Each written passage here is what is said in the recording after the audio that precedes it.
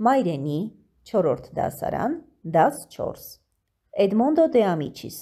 մոր նամակը։ Որդիս, ես համոզված եմ, որ քո ընկերները երբեք այնպես չեն պատասխանի իրենց հորը, ինչպես դու այսօր երեկոյան։ Էնրիկո, ինչպես կարողացար այդ անել։ Դու պետք է խոստանաս ինձ, որ այդ բանը երբեք չի կրկնվի։ Ամեն անգամ, երբ ի պատասխան հորը տարած դիտողության մի կոպիտ բառ է ուզում դուրս թռչել քո բերանից, խորհիր այն մասին, որ մի օր զղջալու ես դրա համար։ Հետո դու կհասկանաս, որ հայրդ միշտ ամենալավ ընկերն է եղել քեզ համար։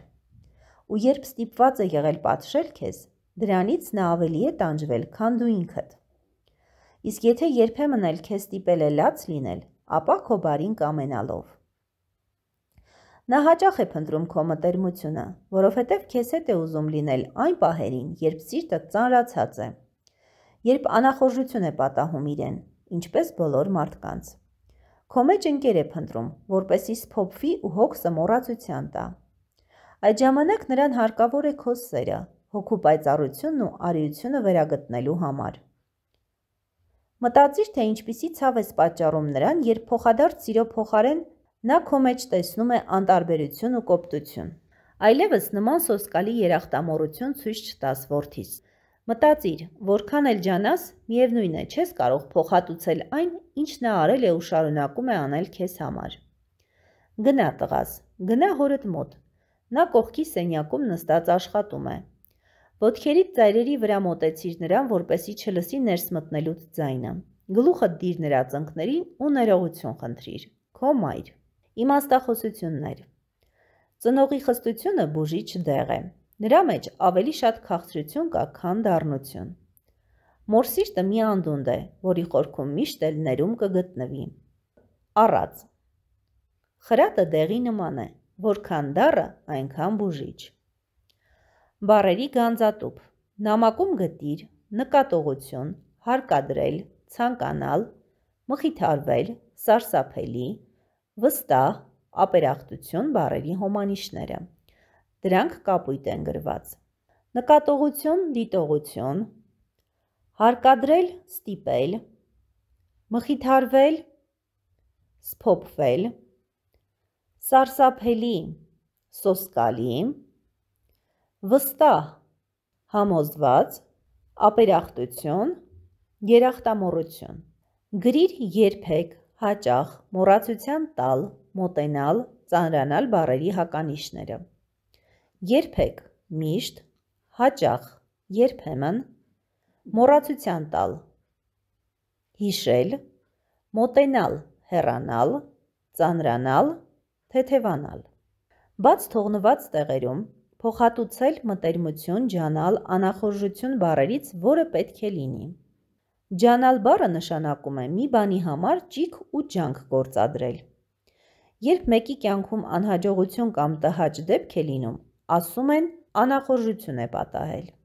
Մեկի հետ ջերմ բարեկամություն անելը մտերմություն է կոչվում։ Կյանքում միշտ չէ, որ հաջողվում է մեկի լավության տակից դուրս գալ, նրա արածին լավությամբ պատասխանել, այսինքն փոխհատուցել։ Տանջվել նշանակում է շատ աշխատել, չարչարվել և հուզվել, անհանգստանալ, մտածմունքի մեջ ընկնել։ Երբ ստիպված է եղել պատժել քեզ, դրանից նա ավելի է տանջվել, քան դու ինքդ նախադասության մեջ։ Բառը օգտագործվել է հուզվել, անհանգստանալ, մտածմունքի մեջ ընկնել իմաստով։ Կոպիտ նշանակում է կոշտ, անկիրթ, վիրավորական։ Բառը որ իմաստով է գործածվել կոպիտ բառ արտահայտության մեջ։ Օգտագործվել է կոշտ իմաստով։ Ինչ բառեր եւ արտահայտություններ գիտես, որոնցով կարելի է ներում խնդրել։ Սա կասեք ինքնուրույն։ Հարցերի եւ առաջադրանքների արկղիկ։ Որն է նամակի հիմնական միտքը։ Մայրը որդուն ինչ է խրատում։ Մայրն ինչպես է բնութագրում հորը։ Մոր կարծիքով հայրն ինչու է փնտրում որդու մտերմությունը։ Նամակի որ հատվածը ամենից շատ քեզ դուր եկավ։ Ինչու։ Մտածել մտածիր, գնալ գնա ձևերի նմանությամբ կազմիր։